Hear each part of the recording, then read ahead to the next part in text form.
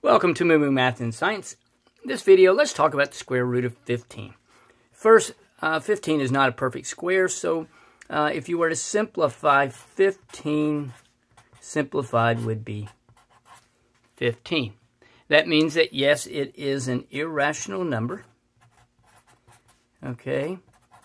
And uh, if you would like, you can estimate it in decimal form, and um, it'd be 3.8 seven, two, nine, eight, three, and it's going to continue because it's irrational.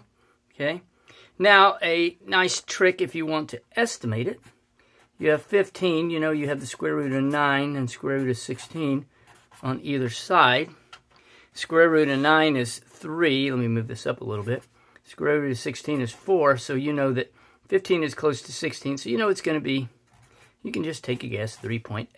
Okay, a nice easy way to estimate. So there we go, the square root of 15. Hope that helps, and remember, kindness multiplies kindness. Be kind to someone today.